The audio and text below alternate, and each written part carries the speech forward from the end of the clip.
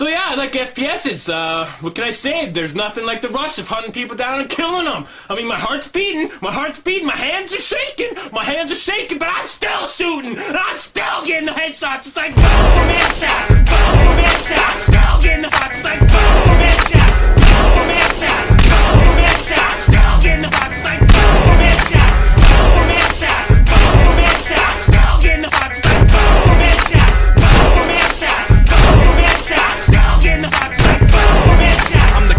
the ring when I'm in the arena. Cause I'm beating everybody like when I beat Tina. I can throw down with the campus mentality. The gloves wouldn't stop, still your whole camp's.